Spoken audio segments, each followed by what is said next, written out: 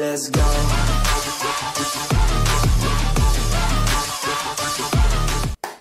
Fala galera, tudo bem com vocês? Meu nome é Kainan, represento a Team Comics e hoje, nesse domingo, Shopping Eldorado, de manhã, a gente foi assistir o Sonic. Esse puta filme. Ô editor, toca aí pra mim, vai.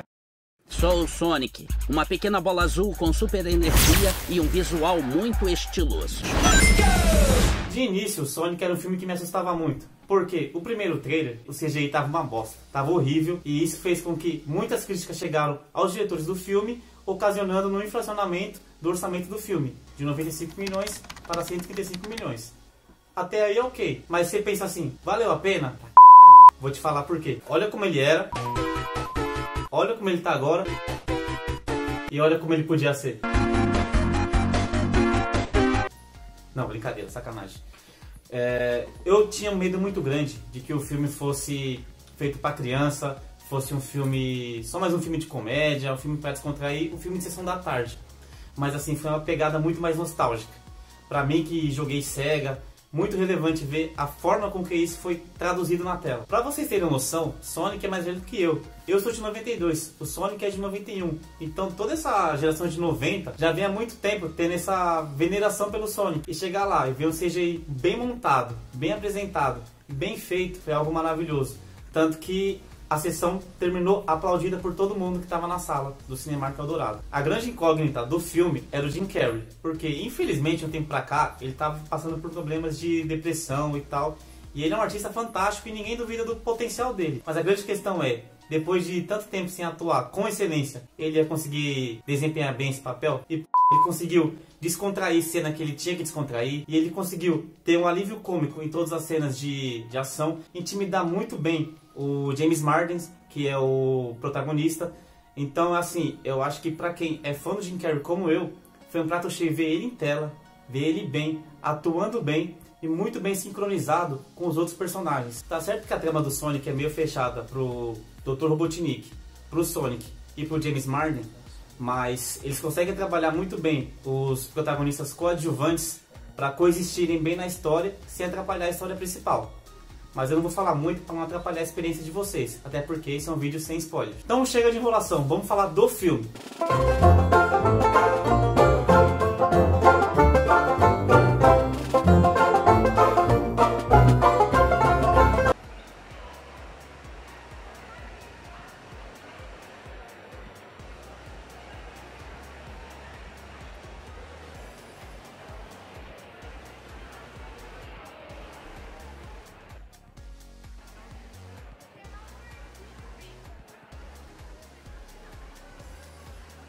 É, sem dar muito detalhe, sem atrapalhar a experiência de vocês, é, como eu falei, ele é mais do que um filme é, leve de comédia, é, ele é um filme que trata um pouquinho é, de solidão, ele trata um pouquinho de. tem um pouquinho de drama, tem um pouquinho de, de questão de conquista pessoal. É, você, escutando isso, jamais consegue imaginar, pô, o filme do Sonic não vai ter isso.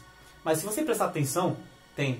E, e claro, vai ter cena de comédia, tem muita referência, muito bem sincronizada com o momento que tem que fazer o alívio cômico. Outra coisa que eu tava meio receoso era a questão da como seria a relação do Sonic com o James Marsden. E cara, a sincronia entre os dois é perfeita, é muito bem feita, não é uma coisa forçada, é a coisa que a amizade entre os dois flui naturalmente. Então é gostoso de ver a cena de atuação entre os dois é, é um entrosamento muito legal. Dito isso, então você já consegue prever basicamente como vai ser a trama do filme. O James Marsden e o Sonic coexistindo em situação de afinidade e o Robotnik é, perseguindo os dois durante o filme. Basicamente é o que eu posso falar pra vocês sem estragar a experiência de vocês. E cara, você pode estar se perguntando, é, porra, o Robotnik tá com cabelo, ele não tinha que tá careca, não tinha que tá gordo. Esse filme tem a cena pós-créditos, então aguardem a cena pós-créditos, que eu não vou falar mais nada, senão eu vou estragar. Mas eu tenho certeza que vai ser satisfatório para todo mundo que assistir. Então, baseado tudo que eu falei para vocês, tudo que eu achei de bom, é, tudo que eu achei de ponto forte, se eu tivesse que dar uma nota, seria 7,5. Não é aquele filme que você vai dizer assim, é, que vai ganhar o Oscar de melhor filme, de melhor roteiro. Não é mas é um filme que respeita a nossa nostalgia, é um filme que respeita todo mundo que admira e jogou e gosta do Sonic. Então galera, é isso. Se inscreva no nosso canal, curtam a nossa página no Face, sigam a nossa página no Instagram, que o editor vai deixar aqui, ou aqui, ou aqui, ou ali, enfim. Muito obrigado. E é nóis. Moleque. Agora você faz uma, Hum. mesma coisa. Hum. Na hora que você pede pra soltar, editor, editor, vai deixar aqui, ou aqui, ou aqui, ou ali, enfim.